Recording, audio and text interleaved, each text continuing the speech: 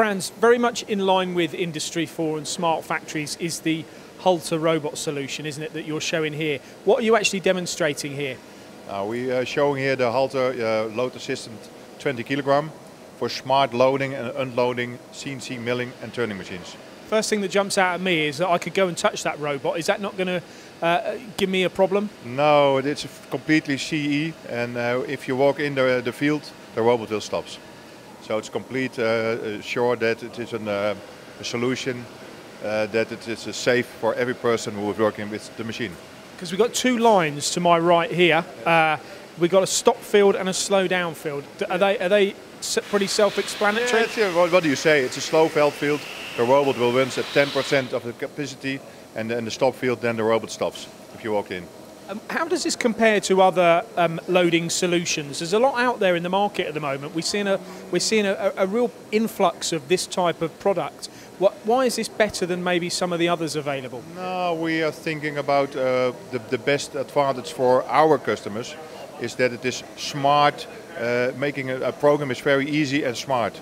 So we have a smart wizard control, how do you so call so we call it, and um, in seven eight steps you make a new program. So a, start up a new program, um, our machine will take two minutes, and that's our advantage uh, to other kind of uh, competitors. And we're here and we've got Nakamura Quaser machines around us.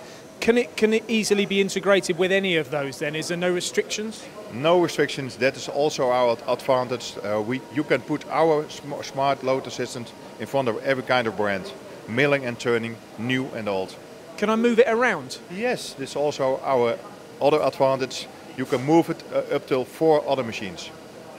You can you can move up to four other machines. Yes, not Just together, but you can move it you can take your, uh, how do you call it? Uh, pallet truck. A pallet truck before it and you move it right easy to another machine. You, you mentioned uh, 20 kilos. Is that how you designate your models down to how much weight yes, they can we hold? Have, uh, we have three models, a 10 kilo, a 20 kilo and a 35 kilo. And that's the payload of the robot. So the, you, for example, this is a 20 kilo robot and you can take one product from 15 kilo in the Schunk uh, gripper. In your opinion, have you, have you picked the best robot there? Uh, yes, I think now the best I don't know, but Fanuc, everyone knows the Fanuc robot. So if the if the customer sees a robot, it's Fanuc. Yeah, it's not a discussion about the robot anymore. Uh, selling 6,000 robots a month at the moment. more, so more, more. I've heard more. I, I, I believe most 10,000 robots in a month. Okay, and how many of these solutions will you supply in a year around the world at the moment? Now we are up to uh, above 100, 100 systems now. And with with Industry 4 and the smart factory revolution, can you only see that increasing? Yes, it's increasing very well. We, I think uh, next year, well, maybe we do the double. It's, it's, the ball is running downhill, we say, and we can't stop them on this moment. Do the double, that sounds like something in football. Yes, yes. but I think it's, uh, we can handle it. And uh, the only thing that the problem is, is the production. We, the production is well made by the Fastems Group in, in Germany. And they are, they are now uh, going from one lean manufacturing production to two lean. So they can make now up to 10 machines in a month. And uh, we have also our own uh, company in the United States, Halter USA, and they are also going very good now. Good stuff. Thank you, Franz. Yeah, you're welcome.